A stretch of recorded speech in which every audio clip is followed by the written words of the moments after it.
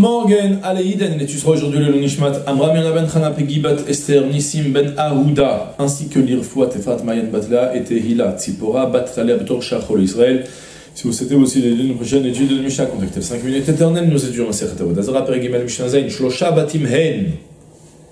בית שבנוי מתחילה לעבודה זרה, הרי זה מותר. סידו וקירו לעבודה זרה וחידש, נותן מה שחידש. Ensuite, Shalosh Avanim Hen, Even Shechatzava Mitechila Lebimos, Arezon Asura, Sida, Sida, Vekira Leshem Avodazara Vechidesh, Notelma Shechidesh, Emid Alea Avodazara Vesilka, Arezon Moteret. Et ensuite, Shalosh Asherot Hen, regardez la redondance, c'est le même principe qui va revenir trois fois dans la Mishnah.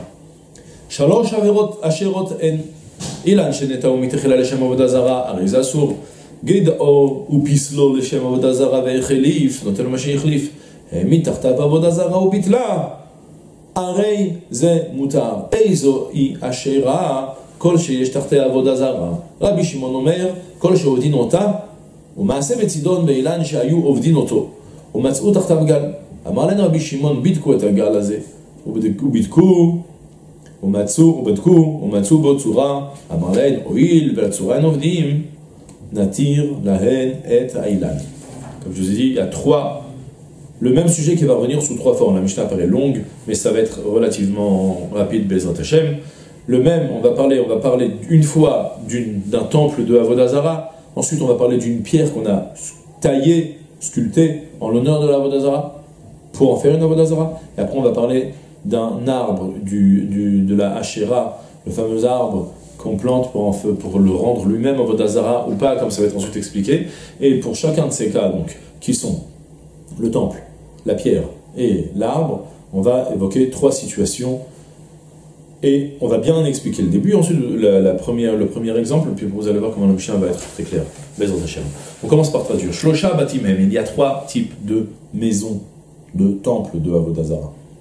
C'est-à-dire un goy qui a décidé de, de, faire un temple de Avodazara, de prendre une, maison ou de construire une maison et de la désigner pour la rendre elle-même Avodazara. Il une petite nuance, on expliquera ensuite il y a deux situations en fait à considérer. Il y a euh, le fait de servir la maison elle-même, c'est-à-dire il veut rendre la maison elle-même, ça va être la divinité, c'est un culte de pouvoir servir la maison elle-même. On s'imagine que la maison elle a elle-même un pouvoir. C'est de ça qu'on parle dans la Mishnah. Après on évoquera l'autre situation où la maison c'est une maison ou qu'il veut uniquement réserver pour faire entrer sa Vodazara pour en créer un temple. C'est encore une autre nuance. Dans notre Mishnah, pour le moment, on parle de Baït Shebanu Metechila la Vodazara, une maison qu'il a construite depuis le début pour en faire une avodazara, que la maison elle-même, elle soit l'avodazara. Il va servir, il va apporter des offrandes en l'honneur de cette maison. Alors, dans ce cas-là, Areizé Assour, la maison devient interdite à en tirer profit. Par contre, Sido Vekiro, il y avait déjà une maison qui existait, mais il a rajouté dessus du Sid, de la soude, de la chaux. Vekiro, il a orné, il a rajouté dessus des petits fils d'or et tout ça. Donc, la Vodazara, pour en faire une Avodazara, Vechidesh, et donc il a fait quelque chose de nouveau, de Chadash. Notel Machichidesh, il devra, il pourra retirer ce qu'il a ajouté, et la maison deviendra permise en tirer profit. Et troisième situation, c'est Ichnis letocha avodazara ve'otsia. Si le goy a fait entrer dedans une avodazara qu'il a lui-même ressorti ensuite de ce temple, il est venu en vacances dans le quartier, et puis il a loué une deuxième maison pour mettre dedans sa statue, faire sa prière tous les matins, et une fois qu'il est reparti à son pays, il a repris sa Vodazara. Alors la Mishnah nous enseigne, un raisin moutard, la maison est permise à en tirer profit. Et on explique un petit peu mieux de quoi on parle. Comme je vous ai dit, on parle pour le moment qu'il veut servir la maison elle-même. C'est la maison, la divinité, ça représente, je ne sais pas ce que ça représente, pour lui c'est là la, force du monde, euh, le pouvoir euh, suprême, et donc il va maintenant servir cette maison. Et il y a en fait deux situations qu'on va avoir déjà depuis le début. C'est soit il a construit une maison depuis le début pour la Vodazara, soit il a, soit il a, il a, il y avait une maison existante et puis il a uniquement orné en l'honneur de la Vodazara. La Mishnah vient m'enseigner comme ça. Si il a construit une maison depuis, il a fondé, il a construit, il a bâti, il a monté les murs et que cette maison devient la Avodazara, la construction elle-même rend la maison interdite en tant que Avodazara. D'accord? La maison elle-même, puisqu'elle a été construite, on a construit une Avodazara au même titre que si on construit une statue pour en faire une idole, pour euh, donc une idole pour, pour lui apporter des offrandes, alors elle devient interdite à, la, à en tirer profit, il faut la détruire. C'est le pasuk qu'on a déjà évoqué quelques fois. Il y a plusieurs. De ce fait, selon ce même principe, il faudra détruire cette maison et l'amener, amener toutes ces poussières dans, dans la mer, et, et voilà. D'accord? Ça, c'est si la maison a été construite, l'échelle Avodazara. Par contre, si le goy, il a acheté une maison qui était existante déjà, qu'il a ensuite rénovée en l'honneur de la Avodazara, alors là, et ensuite, le goy, bon, il est parti, il a laissé la maison, alors dans ce cas-là, la nous enseigne, eh ben, tu retires tout le supplément qu'il a ajouté en l'honneur de la Vodazara, pour le rendre à Vodazara, tu le supprimes et la maison elle-même, les murs initiaux, restent permis. Et là, on apporte la grande précision.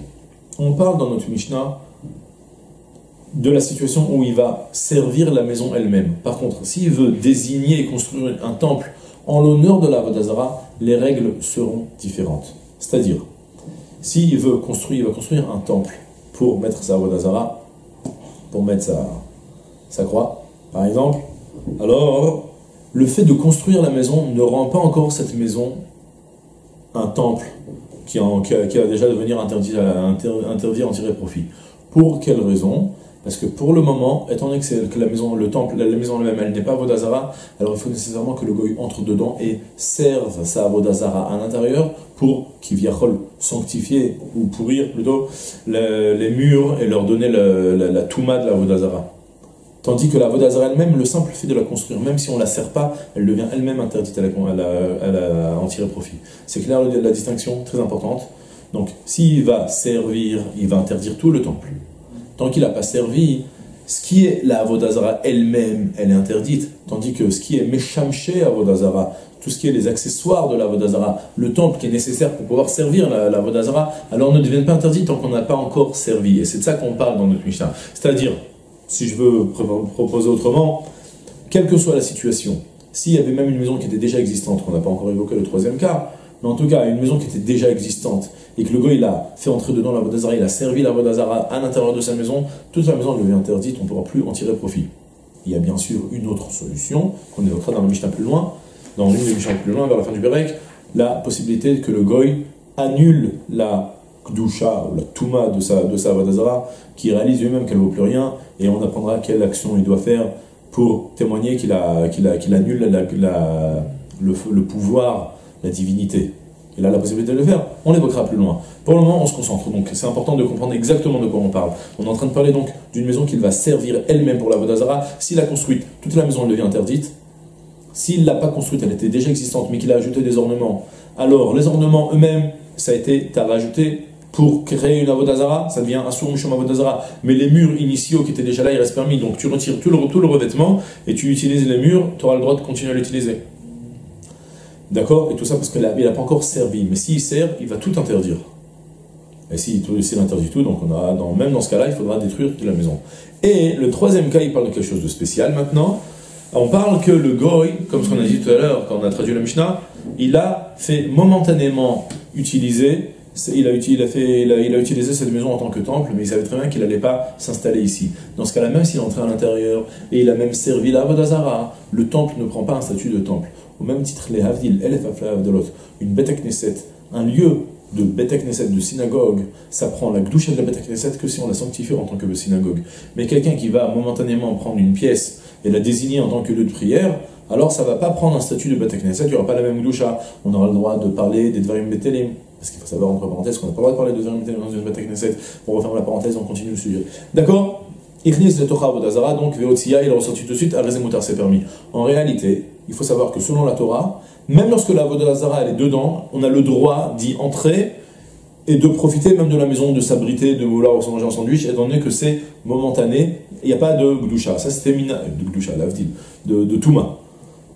Parce que ça, c'était Minatora, c'était que Minatora. Tandis que Chachamim sont venus et ont posé un décret. Ils ont dit non, même si c'est provisoire, malgré tout, la maison elle est interdite tant que la Vodazara elle est dedans. Par contre, dès que le goy va reprendre sa Vodazara, elle va la sortir, on a le droit d'utiliser, de, tirer profit de la maison, même s'il n'a pas annulé la Gdusha, même si c'était pas un temple, et même s'il a servi à l'intérieur. À la différence des cas de la Mishnah précédent, des premiers cas de la Mishnah, du cas précédent par exemple, s'il a servi à l'intérieur, c'est fini. La maison, elle est éternellement grillée, il faudra que la détruire, ou bien trouver un goy qui va l'annuler, comme on apprendra à la fin du chapitre. Ensuite, deuxième sujet, si vous avez bien compris le principe avec les trois règles, ce qui a été initialement fait au nom de la Vodazara, ce qui a été ensuite rénové au nom de la Vodazara, et ce qui a été momentanément, eh ben on va voir exactement la même chose avec Even Shechatzava Mitechila Labimos. Une pierre qu'il a taillée, il a coupé de la montagne, il a taillé une pierre, Mitechila, depuis le début, donc il a créé, il a fait sortir cette pierre de la montagne, de la montagne il. On apprenait que la montagne n'était pas Shuma Vodazara. Elohim, Aleharim, Veloharim, Elohim. Deux, trois Mishnayot précédentes. Maintenant, on apprend quelque chose que quand il va tailler la pierre, dès qu'il va la décoller de la montagne, s'il a fait au nom de la Vodazara, cette pierre, elle est morte. C'est fini, on ne pourra plus l'utiliser, elle est interdite en tirer profit, il faudra l'amener à Yamamelach. Ça va faire monter le niveau de la mer, la mer morte, pourquoi pas. En tout cas, ça c'est Even Shechatzava Mitechila Lebimos. La Bimos, c'est quoi le Bimos? C'est le socle de la Vodazara. la Mishnah vient nous enseigner que même si le socle, c'est apparemment c'est secondaire à la Vodazara, et ben non, puisque ça fait une partie, ensuite on les, on les relie ensemble, ça devient une partie intégrante, comme ça c'est rapporté dans le Tosfot, et c'est rapporté dans le Tosfot Yom ici, puisqu'on a fait depuis le début, au nom de la Vodazara, ça va devenir une seule entité avec la Vodazara, même le bimos, même le socle, il va devenir interdit. Donc, Arezo Asural va être éternellement interdit. Par contre, si on avait déjà une pierre existante, il y avait déjà une grosse pierre, une grosse brique par exemple, et il a pris et Siida, il a mis de la chaux dessus, Vekira, il a mis des ornements et des dessins dessus, le Shem Avodazara, pour en faire elle-même la Vodazara, c'est-à-dire pour la rattacher avec la Vodazara, Vechidesh, et donc il a mis, il a fait, il a mis quelque chose de nouveau. Alors, en hôtel Machichidesh, s'il voudra permettre ensuite à en tirer profit de cette pierre, alors il faudra retirer ce qu'il a ajouté, selon le principe. Et si toutefois il aura collé à la Vodazara, puis ensuite il aura servi cette pierre, alors la pierre sera euh, éternellement interdite à, la, en tirer profit, sauf si le goy l'annule, exactement comme ce qu'on a expliqué au début de la Mishnah. Ensuite, maintenant, troisième situation, encore le même principe, et Midale Avodazara, Vesilka, momentanément il a cherché un socle pour sa Avodazara. D'accord? Regardez le partenariat, il vous le dit aussi tout de suite. Et Midale Avodazara, les ficha'a, momentanément, Velo Il n'a pas désigné que cette pierre sera pour éternellement servira pour le bimos. Parce que dans ce cas-là, pour le bimos, ouais, pour la, la vodazara, pour le socle de la de la de l'idole. Alors dans ce cas-là, puisque c'était provisoire, à raison moteret, dès qu'il va retirer la vodazara de ce socle, le socle deviendra permis à en tirer profit. On pourra s'asseoir dessus si on veut. Troisième situation. Alors là, ça va ressembler que à deux tiers. Le début, ça va être la même chose. La troisième partie, ça va être un petit peu plus nouveau. Shalosh Asherot Hen. Il y a trois types d'arbres que l'on fait Avodazara. On a déjà évoqué l'arbre, initialement. Pour rappel, ça va nous servir. On avait appris là-bas une discussion entre Rabbi aussi et Chachamim, à savoir si un arbre, à partir de quand un arbre de Avodazara devient interdit. Est-ce qu'il faut nécessairement qu'il soit planté en tant que Avodazara ou bien, même s'il était déjà un arbre existant et que le goy l'a servi, est-ce qu'il le rendra assourd On avait Rabbi aussi qui nous disait, qui, apprenait que dès qu'il y a eu Tfisatia d'Adam, c'est considéré que c'est plus comme si c'était fixé au sol, et de ce fait, alors on pourra rendre assourd une avodazara même si elle est fixée au sol. D'accord C'est la vie aussi. Ce qui nous intéresse, c'est de retenir l'avis de Chachamim, qui pense qu'un arbre qui n'a pas été planté initialement en tant que avodazara ne sera plus interdit en tant que Vodazara, étant donné qu'il est Mechoubar la Kalka. Il est relié au sol. Entre parenthèses, dans les pierres précédentes, et depuis le début de la Mishnah aussi, on apprenait que même bien que ce soit relié au sol, c'est possible de rendre interdit la maison, pour la raison que bah, ça rapporté dans le Tifrat Israël cette fois-ci. Nous explique que c'est uniquement, quand on parle que ce qui est rattaché au sol ne prend pas de statut de Avodazara, c'est uniquement quelque chose qui va se fixer au sol et devenir une vraie partie intégrante, qui va s'enraciner comme un arbre qui s'enracine, par exemple, qui va tirer sa vie qu'on peut plus retirer. Tandis que des pierres, on peut les décoller, les utiliser ailleurs. Il n'y a pas de vie, donc il n'y a pas vraiment un vrai ribourg, c'est pas vraiment rattaché au sol. D'accord? Ça va ici, si ça vous intéresse. Et voilà, je sais plus, je l'avais vu, je l'ai pas retrouvé ici, je sais plus tester en fait. Cherchez, cherchez dans les mifrachim, ça fera pas de mal. Euh, D'accord, on revient maintenant sur la Hachira. Donc, ce qui nous intéresse, on retient. Ramim pense donc que un arbre qui est planté, on ne peut pas le rendre interdit une fois qu'elle a été plantée, beheter. Tandis que si on l'a planté au nom de la Vodazara, il devient sourd. Et ben maintenant, on va découvrir des détails sur ça. Ilan Un arbre qui a été planté depuis le début en tant que Avodazara, pour le moment, pour en faire lui-même une divinité. Ouais, il croit en la force suprême du baobab. Donc du coup, il a planté l'arbre et euh, il, va, il va se mettre à le servir. Eh ben, à sourd, lorsque cet arbre il va pousser, il va être interdit à en tirer profit d'aucune manière, bien sûr, sauf si le goy l'annule, comme précédemment. Ensuite, guide O ou pislo lechem avodazara. Il l'a élagué, il a coupé toutes les, toutes les branches, il a laissé un tronc et ensuite il a laissé repousser en tant que, euh, que avodazara. Donc, il a été gada. Gada, c'est qu'il a tronçonné. Et pislo, et il a taillé lechem avodazara au nom de la Avodazara, pour en rendre, le rendre ainsi Avodazara. Et donc là, ensuite, il a redonné ses, nouvelles branches, il a, donné il, a, il a poussé de nouveau. Alors dans ce cas-là, regardez la singularité. L'arbre lui-même, ce qui était déjà là, il ne va pas devenir interdit. Parce qu'on ne peut pas le rendre Avodazara maintenant, puisqu'elle n'a pas été plantée au nom en tant qu'Avodazara. Mais malgré tout, Echlif, ce qui va pousser ensuite dès lors, alors Notel Echlif, il va devenir interdit, donc il faudra retirer. C'est-à-dire, il y a un goy pendant 5 ans, pendant 30 ans, d'abord il y a un arbre planté, un beau cèdre. Le goy est venu, il a voulu maintenant le rendre à Vodazara. D'abord, s'il se prosterne, il ne va pas le rendre à Vodazara comme ce qu'on apprenait en haut. Parce qu'il n'a pas été planté au nom de Vodazara d'après Khamim. Maintenant, si jamais il a voulu, malgré tout, il a taillé l'arbre, il a coupé toutes les branches et qu'il a dit à partir de maintenant, ce sera toi, mon Dieu, et cet arbre il s'est mis à faire sortir de nouvelles branches, alors toutes les nouvelles branches qui pousseront devront être coupées. D'accord? Maintenant, troisième situation, c'est qu'il y avait un arbre qui était déjà planté, et là ça va devenir un petit peu délicat, on expliquera ensuite plus dans les détails. Pour le moment, je vais partir selon l'explication du Tosot Tov, qui rapporte en Tosfot, et il y a le Tiferet Israël qui aura une autre explication, je l'évoquerai ensuite. Pour le moment, on reste donc avec le Tosot Tov. On parle ici que maintenant il y avait un arbre qui était déjà existant, donc impossible de le rendre à sourd. Minatora, mais malgré tout, Khamim vont lui donner un interdit s'il va y avoir une avodazara en dessous, comme c'est écrit tout de suite. tartav avodazara ou bitla. Il bitla ou netala. Il y a un petit problème comment écrire dans la Mishnah. Regardez le bet et le nun. Si vous supprimez les, les extrémités du bet, ça devient, ça ressemble beaucoup à un nun. Il y avait un problème, qu'est-ce qu'il y avait écrit dans le livre initial Je vais partir selon la Gersa qui nous dit de dire ou netala. Donc, on parle qu'il y avait, euh, qu'il y avait Hein, dans le Rambam lui-même, une fois il explique comme ça, dans le Pirosh Mishnah du Rambam il explique comme ça, et dans le Chiburo, dans le livre du, du Yad HaZaka, il a écrit là-bas Unetala. D'accord Donc on va partir sur le Unetala, c'est plus facile. Donc il y avait, il a mis une Avodazara, le il a mis une Avodazara sous l'arbre. On avait dit, dans ce cas-là, ça devrait en théorie devenir interdit à cause de Hachera, oui ou non. Alors la Mishnah nous enseigne, on va expliquer ensuite. La Mishnah nous enseigne que et ensuite le gars il l'a retiré, et eh ben, à Moutard, on aura le droit de se servir de l'arbre. Tandis que tant que la Vodazara est en dessous, on n'aura pas le droit de partir se servir de l'arbre.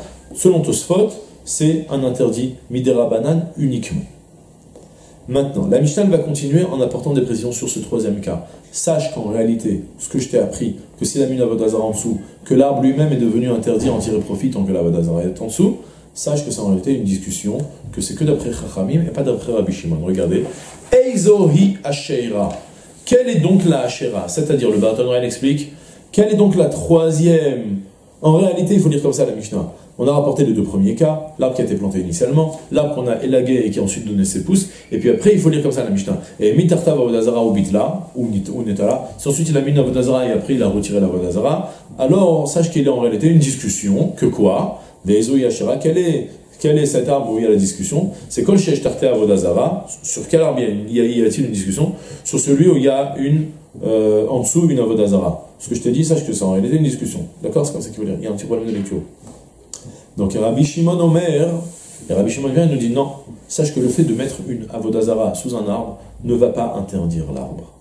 Il faut faire beaucoup plus que ça. Il faut que kol chez ovdin ota.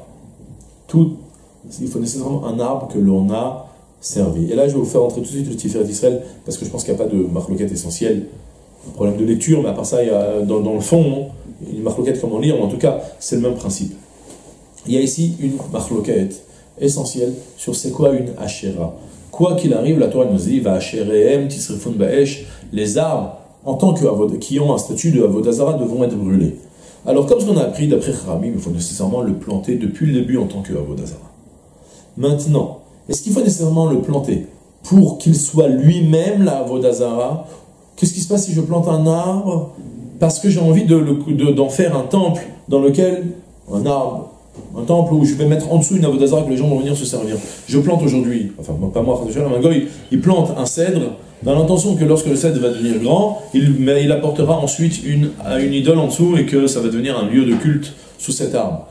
Alors, est-ce que ce, cet arbre va prendre un statut de Avodazara ou non? Sans ça qu'il y a une discussion. Selon Chachamim, il y a un statut de Hachera, ce sera assour en tant qu'Hachera, il faudra brûler cet arbre, il n'y aura pas d'autre solution, ou demander au goy de l'annuler, bien sûr.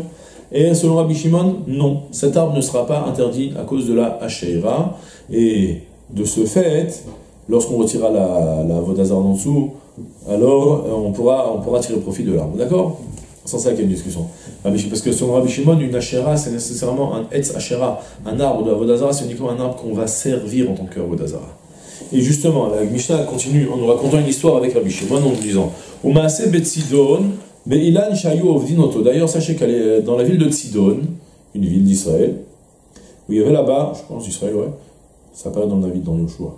Il y avait là-bas un arbre que euh, Shayu Ovdin Oto. Il y avait un arbre que les hommes servaient. Il y avait comme ça une transmission dans une ville où il y avait des goïms, bien sûr. il y avait là-bas une transmission de servir cet arbre-là, fréquemment, il y avait des goïms qui venaient, ils se prosternaient devant l'arbre, ils ne savaient pas, leur père faisait comme ça, leur grand-père faisait comme ça, ils ne se posaient pas tellement de questions, donc ils se prosternaient devant l'arbre. A priori, ça signifie qu'ils ont rendu l'arbre en divinité, puisqu'ils se prosternaient à l'arbre. Mais ce qui s'est passé, c'est qu'ensuite, au Matsu Tartav Gal, les juifs qui étaient là-bas dans le coin, ils se sont approchés pour voir qu'est-ce qu'ils faisaient exactement ces goyim avec cet arbre. Ils étaient intéressés par exemple à couper une branche, à l'utiliser pour, euh, pour chauffer en hiver. Est-ce qu'on a le droit d'en tirer profit ou non? Si c'est un arbre de Avodazara, c'est interdit d'en tirer profit. Si c'est pas un arbre de Avodazara, c'est sourd. Donc ils se sont approchés, ils ont vu là-bas qu'il y avait un gal. Il y avait là-bas une euh, monticule de, pierre. Donc le gal, ils n'étaient pas en train de servir cette, euh, ce ce, monticule de pierre. Donc apparemment, ils venaient, ils faisaient comme leurs ancêtres, ils se prosternaient sur cet arbre sans vraiment savoir ce qu'ils faisaient, ils posaient pas de questions, et ils ont vu ce, tas de pierres, ils sont dit, bon, a priori, ils sont pas en train de servir la pierre, donc ils sont en train de servir l'arbre. Et donc ils sont partis voir Rabbi Shimon pour lui dire, à ton avis, Rabbi Shimon, qu'est-ce qu'on fait? Permis ou assourd de tirer profit de, la branche? Alors, à Marlaen, Rabbi Shimon, leur a dit, Bidkou et galazé. Allez voir qu'est-ce qu'il y a sous ce, tas de pierres ou Badaku, et ils ont parti vérifier, chercher, au Matsu Botsura. Une fois qu'ils ont euh, dégagé les, toutes ces pierres-là, ils ont trouvé qu'il y avait là-bas, en fait, une statue en dessous. Alors Rabbi Shimon, il leur a dit, Amar Lahen, il leur a rétorqué Rabbi Shimon en leur disant, oh oui, le la Tsura, et on dit, mais puisque maintenant vous avez compris, qu'est-ce qu'ils faisaient ces gens quand ils venaient se prosterner? Ils étaient en train de, diviniser l'arbre, ou bien il savait qu'il y avait ici une divinité, il ne savait pas où exactement il se prosternait, mais en réalité il se prosternait à, cette statue qui était enfouie sur les pierres. C'était bien pour la statue. De ce fait, l'arbre, natir la haine l'arbre, il est permis à en tirer profit. Vous avez le droit de couper des branches et de vous en servir pour vous chauffer en hiver. Et c'est tout pour aujourd'hui. Je vous souhaite une journée pleine de Aslacha comme tout,